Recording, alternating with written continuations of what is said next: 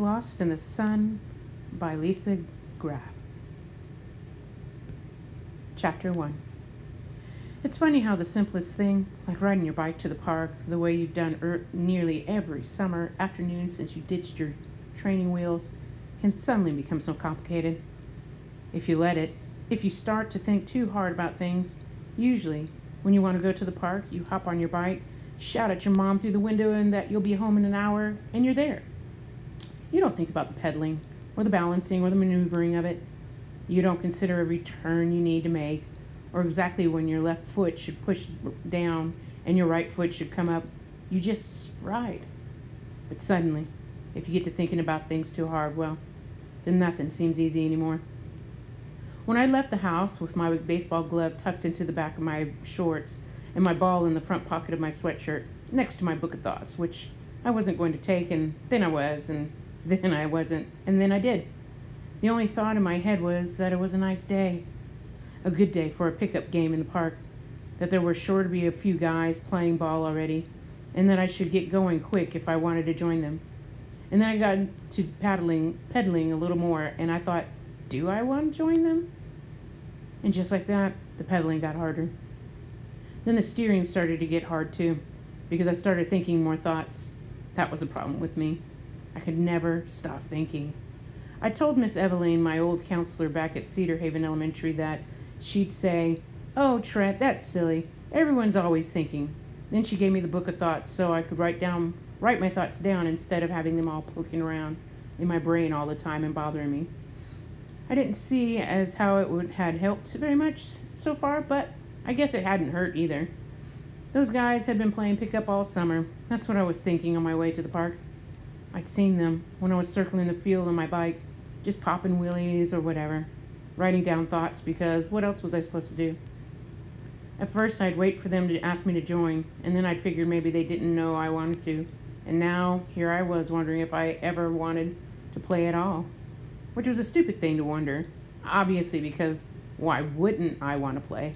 I hadn't swung a bat the entire summer, so my arm was feeling pretty rusty, and what with sixth grade starting in three short days, I knew I better get not pretty rusty pretty quick if I wanted to join the intramural sports, or sorry, intramural team.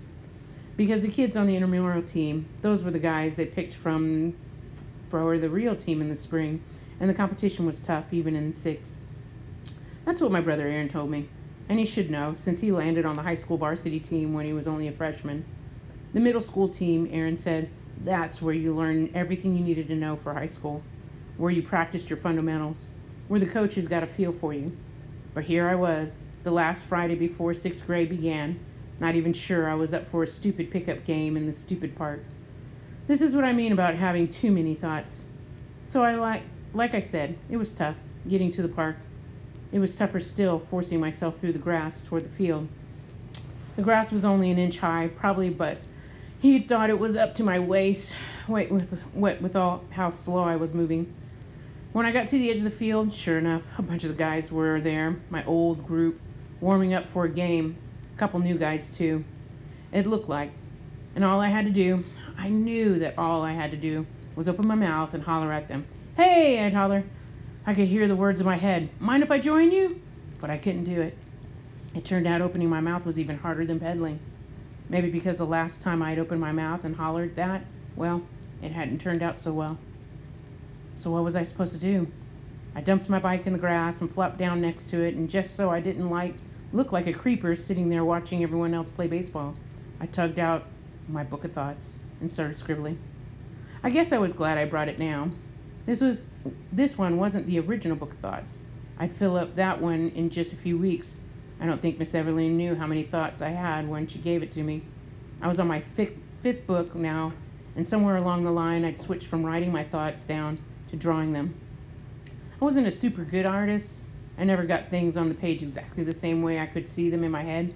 But for whatever reason, I like drawing my thoughts because thoughts better that than writing. Maybe because it felt more like a hobby and less like the thing the school counselor told me to do. Anyway, I drew a lot these days. After a while of drawing, I decided to look up, see how the game was going, see if any of the guys were about to ask me to play. Not that I was sure if I wanted to. They didn't look like they were. so my eyes got to wandering around the rest of the park. I saw the side of her face first, the left side, which she was walking while she was walking her fluffy white dog not far from here, where I was sitting on the side of the baseball field. I didn't recognize her at first. Actually, I thought she might be a new kid, just moved to town. Thought she had a good face for drawing. Big, deep, round brown eyes. Well, one of them anyway, the left one. Curly, slightly frizzy brown hair pulled back away from her face. Half of a small upturned mouth. She was dressed kind of funny. This loud neon pink t shirt blouse thing with two ties hanging down from the neck. Were those supposed to do something? I never understood clothes that were supposed to do something. And zebra print shorts, and what looked like a blue shoelace tied into a bow in her hair. The kind of outfit that says, Yep, here I am. I look weird. But that wasn't the first thing I noticed about her, her weird outfit. The first thing I noticed was that the left side of her face was awfully good for drawing. Then she tilted her head in my direction, and I saw the rest of her. I recognized her right away. Of course I did. Fallon Little was a little recognizable person. The scar was thin but dark, deep pink, much darker than the rest of her face, raised and smooth, mostly smooth at the sides, with a thick, rough line in the center. The scar started just above the middle of her left eyebrow and curved around the bridge of her nose and down and down the right side of her face until it ended with a slight crook at the right side of her mouth. That was where her top lip seemed to tuck into the scar a little bit, to become almost part of it. Fallon had had the scar for as long as I had known her. She'd moved to Cedar Haven back in first grade, and she'd had had the scar then. Some people thought she'd been born with it, but no one knew for sure. If you asked, she'd tell you. But you knew it was a lie. A different story every time. Once I had been sitting next to Hannah Crawley in chorus when Fallon described how she was mauled by a grizzly while trying to rescue an orphaned baby girl. Hannah believed her, I think, but Hannah was pretty dense. Fallon Little saw me looking at her from across the grass, and she winked at me. Quick as a flash, I turned back to my notebook, not staring at Fallon Little and her fluffy white dog at all drawing. I've been drawing the whole time. Still, while I was drawing my thoughts on the paper, I couldn't help wondering how I'd never noticed the rest of Fallon Little's face before. It was like I'd just gotten to the scar and then stopped looking. Like I was, or like I said, it wasn't a terrible face. I guess I was concentrating on my drawing pretty hard. I do that sometimes, get lost in my book of thoughts.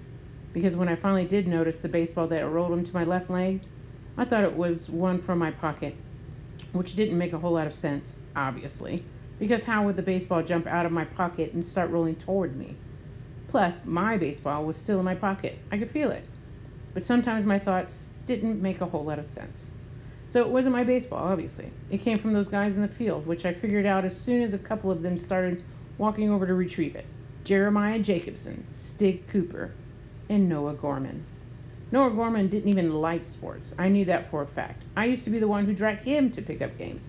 So what was he doing here without me? Not that I cared. Not that it mattered if Noah wanted to spend all his time with Jeremiah, Jeremiah Jacobson, the biggest jerk in the whole entire world. Jeremiah Jacobson was pretty scrawny. My brother Aaron could have snapped him like a toothpick. Heck, give me another month, and I could do it. But he acted like he was the king of the whole town. His parents owned the only movie theater in Cedar Haven, so he never shut up about it, how he and all his stupid friends could get into all the free movies they wanted. Free popcorn and sodas, too. Even candy. I heard that there were pictures up behind the counter of Jeremiah and all his friends, so the high school kids who worked there would always know how to charge them.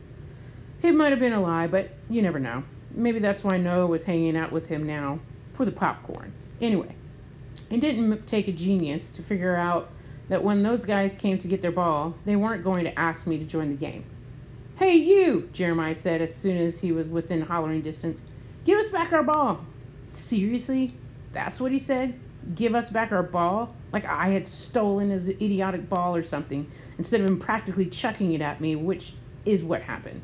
Didn't even use my name either Trent Zimmerman. We'd lived in the same town since we were babies. It was a small town. Well, as soon as he said that, I got that fire in my body, the one that started like a ball in my chest, dense and heavy, then radiated down my stomach, my legs, my toes, and out of my neck, my face, my ears, even all the way to my fingernails. Hot, prickly fire skin all over. I snatched the ball out of the grass and clenched it tight in my fiery hand. Then I stood up so Jeremiah could see just how tall I was. Taller than him. This is my ball, I told him as he and the other guys got closer. That was a lie, obviously, but they were ticking me off. And when I started to get ticked off like that, soon the fire would be up to my ears and down to my toes, and well, then I wasn't exactly in charge of what I said. Go find your own. I didn't look at Noah. Who cared what he thought about anything? He was hanging out with Jeremiah Jacobson. His thoughts didn't matter anymore. Jeremiah cocked his head to one side. You serious? he said. That's our ball. Don't be a turd. Only he didn't say turd. Give it back. Yeah, Stig said. Give it back. Stig Cooper was the fattest kid in town, dumbest too, not to mention an enormous jerk. Noah stood just behind the two of them, shrugging at the ground, like he didn't care if he got the baseball back or not. Make me, I told them. I think Stig might have actually tried to fight me, even, even though he was thick like an ox. I bet I could have taken him easy. Quick and mean. That's what Dad said about me when he was teaching me how to defend myself.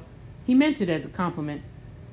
Stig didn't get the chance to get pummeled, though, because Jeremiah Jacobson, for all his faults, was a lot smarter than Stig was, and he could always find a way to get you get to you that didn't involve punching.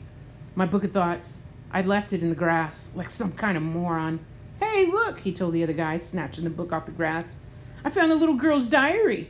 And he held it over his head and started flipping through the pages. Even though I was taller, I couldn't grab at it because Jeremiah's bodyguard, Stig, kept blocking me. The little girl's an artist, Jeremiah said as he flipped. Stig hooted like that was the funniest thing he'd ever heard, and Noah Gorman didn't laugh, and he didn't help with bodyguarding. But he didn't go away either. The ball of fire in my chest was getting hot and hotter and hotter till I almost couldn't stand it, but I couldn't get that notebook. Then, all of a sudden, when Jeremiah flipped through maybe five or six pages, he stopped flipping he didn't give back my thoughts, though. Instead, his eyes went wide at me and his face went long, and he said, What's wrong with you? Well, give it back, I said, still trying to pummel through the wall of Stig to get my notebook. It's mine. What's in it? Stig asked. Jeremiah went back to flipping. He's like sick or something, he said. It's all messed up stuff. It's not messed up, I wanted to say. It's just my thoughts. But of course, I didn't say that. It's all like people getting attacked, Jeremiah went on, still flipping. A guy getting eaten by a shark, a guy smushed under a tree, a guy falling off a building. It was a tightrope like in a circus. The guy was falling off a tightrope, not a building.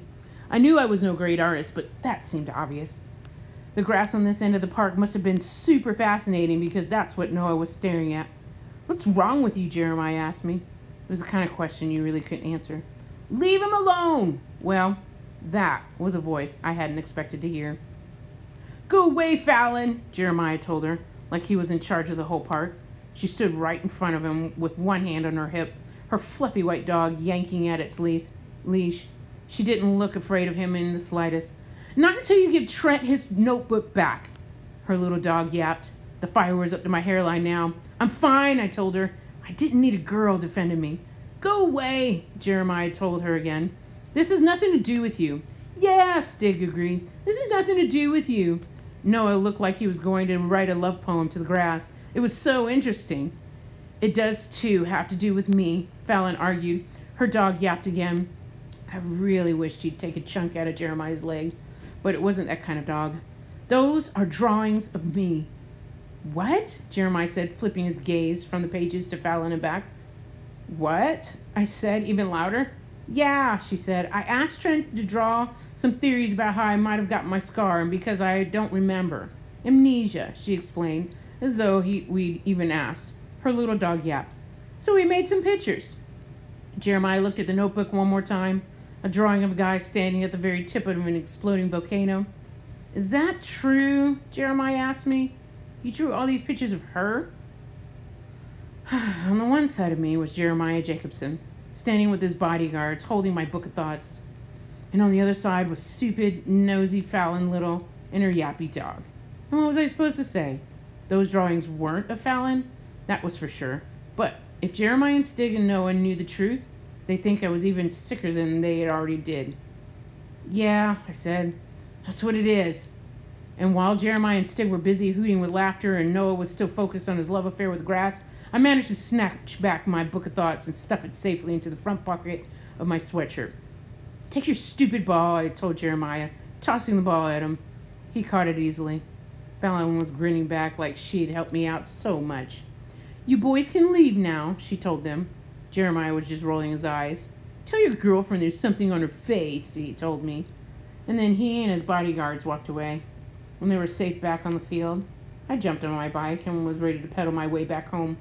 When I heard Fallon say, You're welcome, by the way, I didn't turn around. I didn't say thank you, by the way, I grumbled. I could almost hear her shrug. You owe me one now. Whatever, I replied. I pushed my right foot down hard on the pedal. Trent, she said. I sighed and stopped pedaling. Did turn around. Then, I'm going home, I told her. She didn't seem to care about that. What are the drawings of, really? She asked. She had scooped up her yappy white dog and was staring at me now. Those two big brown eyes, one on either side of that deep pink scar. None of your business, I replied. She nodded like that was true. Her little dog yapped, and I pedaled away for real.